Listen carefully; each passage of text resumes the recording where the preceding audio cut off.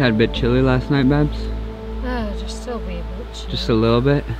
Not too. It got down in the 40s last night. It was, uh, it was a little cold, but uh, it is crisp and beautiful. Sun's coming up now. Got done with breakfast, had our coffee. I think we're gonna go for a hike, uh, get our hike in, then we'll head home.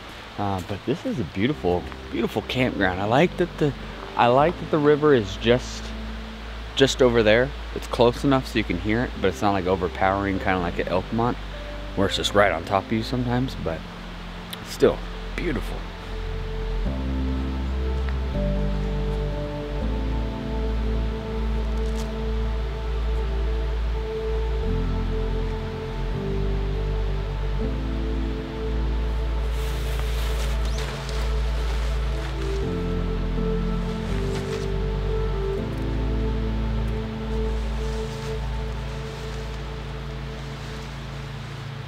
Good? Like this place? I like this place. I think it's nice and quiet. and Just relaxing.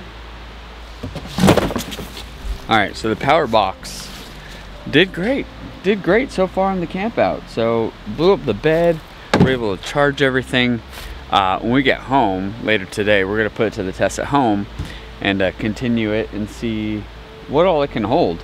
Because so far so good. I'm I'm very impressed with this thing. All right, so how did it do last night? Uh, after you take it out of the bag, you shake it and you let it puff up for a little bit. It gets nice and full size and then it keeps you really warm. Put on hiking boots, go hike, Let's go. see what we can find. All right, we are just gonna cruise up this Smokemont Loop trail back where kind of started hiking yesterday just to finish off the hike, but just see what's up here. Kind of explore a little bit this morning.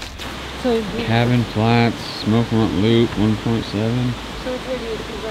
Straight to Cabin Falls? Yeah. So on my AllTrails map, which I left in the car, we are gonna do the Smokemont Loop. So I guess we'll just try it and see where it goes. It's only 1.7, so kind of see how everything goes. And this looks like a big fishing spot. Kind of fishing regulations. There's a lot of people putting waders on. Looks like a really good fishing spot. I don't know anything about fishing, but uh, I would kind of just guess by seeing a lot of fishermen and seeing fishing regulation signs, it's a good spot. I love how all the trails are so wide open and they're nice. Yeah, all of these main trails are perfect for for families to walk, for inexperienced hikers to walk, just to get out and and, and hike. Basically. And they are very well marked trails too, so it's very hard for you to get lost There's no unless you're not paying attention.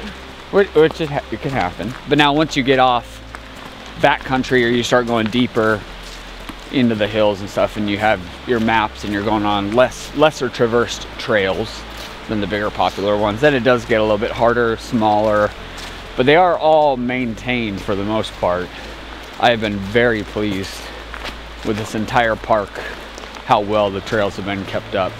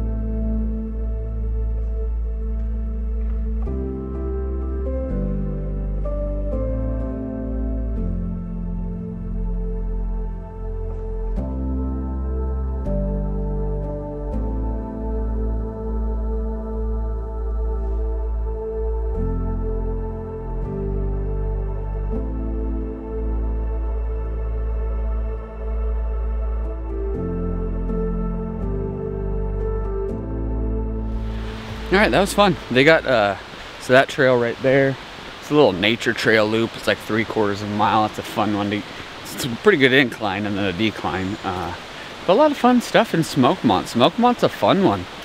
I really like this. This is right up there with Elkmont. Smokemont and Elkmont are the two faves, I think.